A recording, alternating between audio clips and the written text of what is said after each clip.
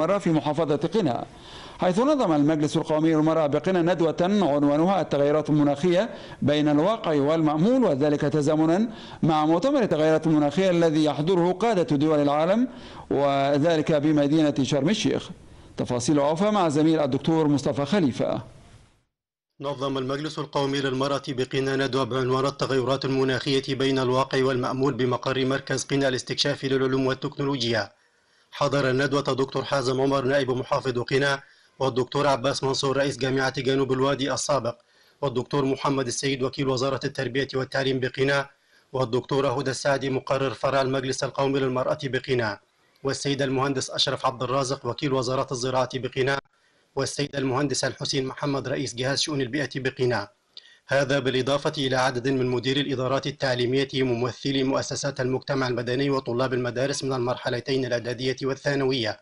طبعا وقعنا في التغيرات المناخية كل الدنيا عارفة إنه تأثير التغيرات المناخية على كل الكرة الأرضية مش علينا بس تأثيرها صعب آه تأثيرها بيأثر على على كل مناحي الحياة.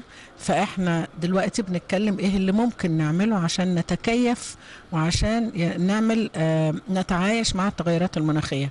حضراتكم شايفين وكل السادة المشاهدين أكيد لما بيقعدوا على شاشات التلفزيون بيشوفوا الفيضانات بنشوف التغيرات في درجات الحرارة بنشوف الجفاف اللي نزل على أوروبا مش على مصر بس. كل هذا الجفاف على الأراضي الزراعية هيؤدي إلى قلة المحاصيل الزراعيه هيؤدي إلى نقص في الغذاء على مستوى العالم. بنتكلم مع المجتمع على كيفية التكيف مع تلك التغيرات لأن خلاص التغيرات المناخية أصبحت أمر واقع مسلم به وفي نفس الوقت محتاجين إن إحنا نحدث بعض التغييرات المرتبطة بعملية التخفيف ده بالإضافة لكده للتكيف مع تلك التغيرات المناخية. إحنا استطعنا من خلال المبادرة زراعة 1500 شجرة تدوير في حدود 1500 طن من المخلفات الزراعية ده بالإضافة لكده رفع وعي المجتمع وتوقيع عدد 10000 فرد داخل محافظة قنا على ميثاق الشرف لمواجهة التغيرات المناخية ولسه عندنا أمل في المزيد من الأنشطة اللي من شأنها الحد من حجم الانبعاثات وفي نفس الوقت التكيف مع تلك التغيرات المناخية. أكد دكتور عباس منصور رئيس جامعة جنوب الوادي السابق خلال المحاضرات التي القاها حول التغيرات المناخية وأسبابها وطرق الحد منها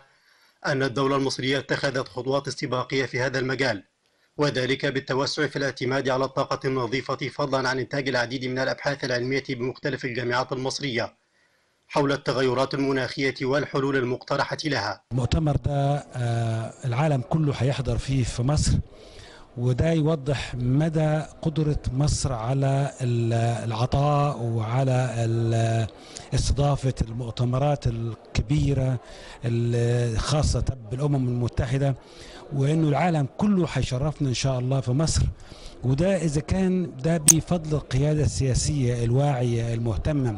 اولا القيادة المهتمة بالمناخ والتغيرات المناخية واللي هيحصل فيها والدولة اللي بتدافع مش بس عن بلدها مصر ولكن بتدافع عن العالم العربي وعن أفريقيا وعن العالم كله لأنه النتائج في هذا المؤتمر حتكون مفيدة للعالم كله مش بس لينا إحنا ولكن العالم كله حيستفيد منها. تأتي الندوة التي نظمها فرع المجلس القومي للمرأة بقنا تزامنا مع انطلاق مؤتمر كوب 27 الذي يحظى بإهتمام عالمي ويحضره قادة دول العالم وهو ما يؤكد على ريادة مصر ومكانتها بين العالم.